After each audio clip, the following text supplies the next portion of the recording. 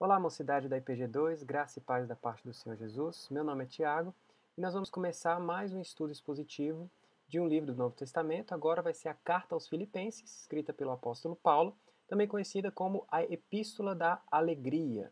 Então, nesse estudo vai ser um estudo introdutório, igual a gente fez em 1 João. A gente vai saber por que, que Paulo escreveu essa carta, o que estava acontecendo lá na igreja para ele escrever essa carta, como, quando ele escreveu essa carta, um pouquinho da cidade de Filipos para a gente começar a mergulhar nessa cartinha preciosa. Então vamos começar conhecendo aí a cidade de Filipos. Né? Filipos recebeu esse nome do seu conquistador, Filipe II da Macedônia, que é pai de Alexandre o Grande, e ela foi conquistada por Filipe no século IV antes de Cristo. Então é uma cidade muito antiga. E aí no século II antes de Cristo, com a ascensão do Império Romano, Filipos tornou-se parte da província romana da Macedônia, grosseiramente representada aí nesse, nessa imagem aí por esse círculo azul, a província da Macedônia. E aí, por fim, lá no ano 42 a.C., Filipos tornou-se colônia romana. E aí, por ser uma colônia do Império Romano, Filipos era uma espécie de Roma em miniatura. Ou seja, os seus cidadãos é, possuíam cidadania romana e desfrutavam desse privilégio. Por exemplo, eles é, eram isentos de açoites e prisão, exceto em casos extremos. Né, os cidadãos romanos não recebiam esse tratamento é, em geral, e que, ainda assim, quando era o caso, deveria seguir o devido processo legal, processo formal. Guarde isso que a gente vai ver isso depois. Eles também é, eram isentos de tributos, eles poderiam comprar, transferir propriedades, enfim. Os filipenses, como todo romano, eram orgulhosos da sua cidadania, da sua cidadania romana e viviam relativamente tranquilos ali em Filipos. Isso é interessante porque Paulo utiliza esse fato para lembrar os crentes daquela igreja, lá em Filipenses 3,20, que a nossa pátria, a cidadania dos cristãos, está nos céus de onde aguardamos o Salvador, o Senhor Jesus Cristo. O que nos define, então, não é a nossa cidadania terrena e temporal, mas sim a nossa cidadania celestial, nossa cidadania eterna. Por fim, Filipos foi a primeira cidade europeia, né, do que hoje a gente conhece como Europa, foi a primeira cidade europeia a receber o Evangelho. A igreja em Filipos foi a primeira igreja cristã da Europa. Muito bem, como lá a igreja de Filipos né, foi plantada, quando ela foi plantada. A igreja de Filipos foi plantada na segunda viagem missionária do apóstolo Paulo, em obediência a uma visão que ele teve, isso está lá em Atos capítulos 16, versos 6 a 12, depois você pode conferir essa visão que Paulo teve, e o relato todo da plantação da igreja, da estadia de Paulo ali em Filipos, está do versículo 6 ao versículo 40 do capítulo 16 de Atos. Então depois você leia lá o que, que acontece. Eu vou dar uma resumida aqui. O que, que acontece? Paulo queria ir para leste, ele queria ir para a Ásia, só que Atos capítulo 16, verso 7, diz que o Espírito de Jesus não permitiu ir para a Ásia. Então o que, que acontece? Paulo foi para Troade. E foi em Troade que ele teve uma visão de um homem macedônio rogando que Paulo fosse para Macedônia. Então tem aqui um pedacinho da Macedônia.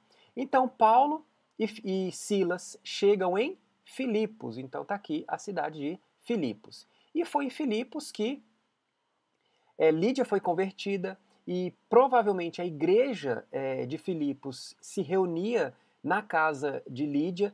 É, diz lá em Atos 16:40 tem uma sugestão disso, porque quando Paulo e Silas foram é, soltos da prisão, eles foram até a casa de Lídia, de Lídia e diz lá que eles viram os irmãos. Então talvez seja uma sugestão aí de que a igreja se reunia ali na casa de Lídia. Foi em Filipos também que Paulo expulsou um espírito adivinhador de uma jovem escrava. Então, os senhores dessa escrava, perdendo a fonte de lucro ali, eles arrastam Paulo e Silas para a praça, acusam eles de perturbação pública, sendo ameaça aos costumes romanos. E aí acontece uma confusão danada lá. Paulo e Silas apanham publicamente com varas e eles são presos. E aí, por volta da meia-noite, enquanto Paulo e Silas oravam e cantavam louvores a Deus, ocorreu um grande terremoto. Todas as portas da prisão se abrem, o carcereiro pensa que todos os prisioneiros fugiram, ele tenta se matar, só que Paulo grita dizendo que todos estavam ali. Então, aí por fim, o carcereiro é convertido. Quando amanheceu, os oficiais de justiça ordenam a libertação de Paulo e Silas. Só que Paulo, apelando para o direito romano, diz: Olha, nós somos cidadãos romanos e nós fomos açoitados publicamente sem ter havido o processo formal contra nós. Nós não vamos sair assim às escondidas. Que os próprios magistrados venham aqui e nos libertem. Então veja, açoitar e prender um cidadão romano sem o devido processo, sem garantir ao réu o direito de apelar a César, era um crime grave. Esses magistrados poderiam não só perder o cargo deles, mas John MacArthur diz que os privilégios de Filipos como colônia romana poderiam ser revogados. Os oficiais de justiça, então, eles ficam com medo, eles pedem desculpa, libertam os dois e rogam que eles deixem a cidade. Então, Paulo e Silas atendem a esse pedido e continuam a sua viagem missionária. E pela carta, a gente fica sabendo que os filipenses ajudaram no sustento de Paulo durante essa viagem missionária, durante a, a segunda viagem missionária, está lá em Filipenses 4, 15 e 16. Os filipenses também contribuíram durante a terceira viagem missionária de Paulo, quando ele estava coletando ofertas para ajudar os crentes de Jerusalém que passavam por necessidades em virtude de perseguição e fome. Isso está lá em 2 Coríntios 8, verso 1 a 5. E quando os, filip os filipenses souberam da prisão de Paulo, eles enviaram outra contribuição. Né? Então, isso também está lá em Filipenses 4, 10.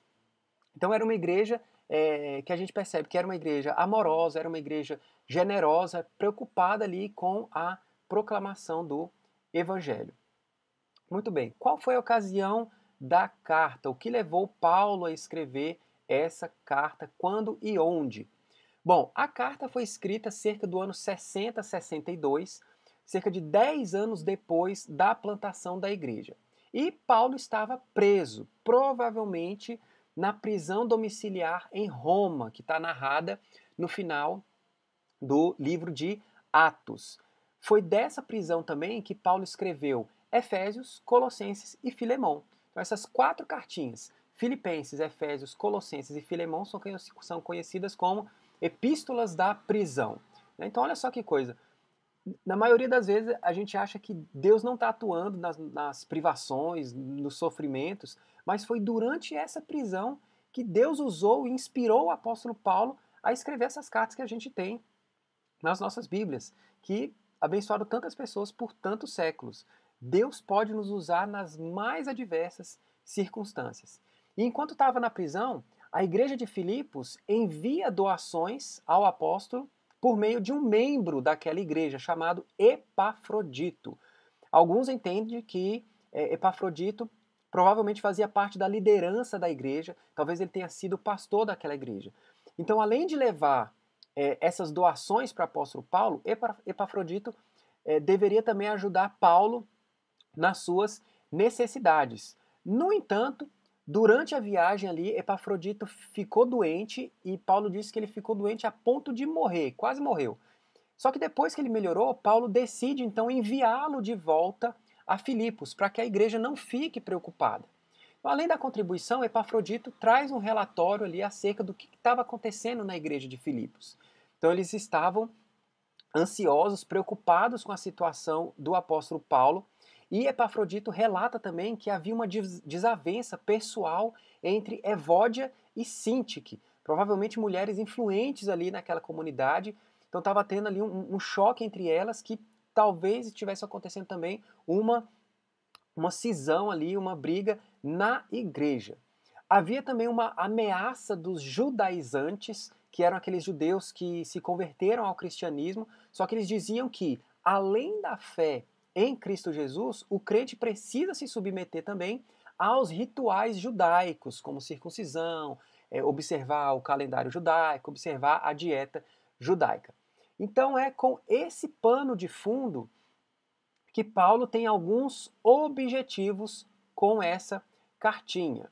Bom, o primeiro é agradecer aos filipenses pela oferta que Paulo recebeu e informá-los sobre a sua situação. Então, Paulo expressa, expressa a sua a ação, ação de graças né, aos filipenses pela ajuda e pelas ajudas, na verdade, que eles têm dado a ele durante as viagens missionárias.